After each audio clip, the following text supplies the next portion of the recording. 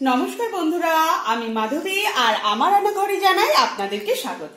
আজকে আমি যে রেসিপিটা করছি সেটা হলো দুধ পনির। এই দুধ পনির করার জন্য আমি এখানে দুশো পনির নিয়ে নিয়েছি। প্রথমে পনিরটাকে আমি পিস পিস করে কেটে নিচ্ছি, তারপরে আমরা একটু হালকা সোনালি কালারে করে ভেজে নিচ্ছি। তাহলে প্রথমে আমরা পিস করে নিচ্ছি। প্রথমে কড়াতে আমি সাদা তেল নিয়ে নিয়েছি। এবারে এই তেলের মধ্যে আমি একটু নুন দিয়ে দিচ্ছি অল্প করে। দিয়ে আমি ভালো করে কড়ার মধ্যে তেলটাকে ঘুরিয়ে নিচ্ছি। নুন দেওয়ার কারণ এটাই, যখন আমরা এই পনিরটাকে ফ্রাই করব, তখন এই কড়ার মধ্যে লাগবে না। তাহলে চলুন, প্রথমে আমরা পনিরটাকে ভেজে নিই। গরম হয়ে গেছে, এবারে আমরা পনিরগুলোকে এখানে অ্যাড করে দিচ্ছি। এটা সম্পূর্ণ নিরামিষ পনির করছি আমি। দুধ পনির, দারুণ টেস্ট আপনারা বাড়িতে এটা করুন। খুব সুন্দর খেতে লাগে। এটা আপনারা লুচি, নান সব সবকিছুর সঙ্গে খেতে পারেন। তো আমি প্রথমে এটা হালকা সোনালি করে ভেজে নিচ্ছি। আমরা এইভাবে হালকা সোনালি কালারে এটাকে ভেজে নিলাম। এবারে এগুলোকে সব আমরা তুলে নিচ্ছি। আমাদের এই হালকা সোনালি কালারে ভাজা পনির, এখানে ঈষদ উষ্ণ দুধ আছে, এই দুধের মধ্যে আমরা ঢেলে দিচ্ছি।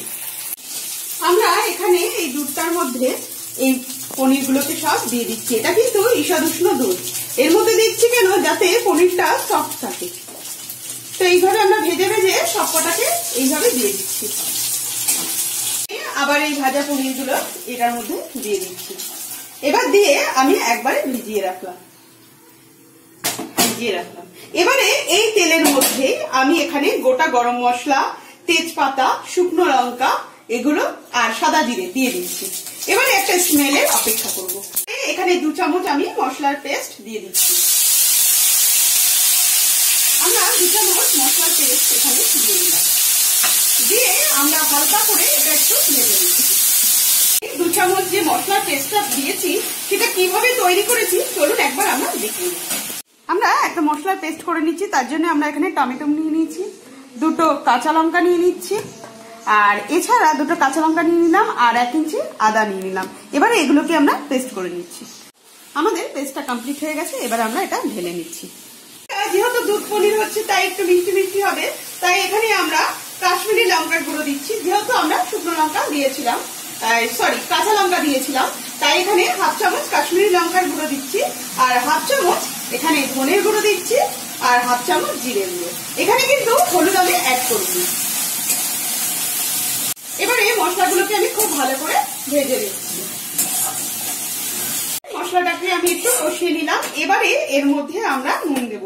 যেহেতু আমরা হাফ চামচ নুন দিয়েছিলাম, তাই এখানে হাফ চামচের মতো নুন অ্যাড করলাম। আর এখানে এক চামচের মতো চিনি অ্যাড করছি।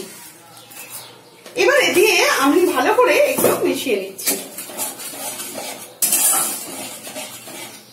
এর মধ্যে আমরা মশলা হাফ হাফ কাপের মতন, আমি যে পেস্ট মশলাটা করে রেখেছি, সেটা এখানে দিয়ে দিচ্ছি হাফ কাপের মতন।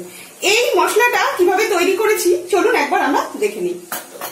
প্রথমে আমি একটা মশলার পেস্ট বানিয়ে নিচ্ছি, তার জন্য আমি এখানে নিয়েছি কাজু। কাজু নিয়েছি সাত আটটা। এছাড়া দু চামচ নিয়েছি চাল মগজ আর তিন চামচ পোস্ত নিয়েছি। প্রথমে আমরা মিক্সিতে একটা পেস্ট বানিয়ে নিচ্ছি। এটা খানিকক্ষণ আমি ভিজিয়ে রেখেছি, এবারে পেস্টটা তৈরি করে নিচ্ছি। আমাদের পেস্টটা কমপ্লিট হয়ে গেছে, এবারে এটা আমরা বের করে নিচ্ছি।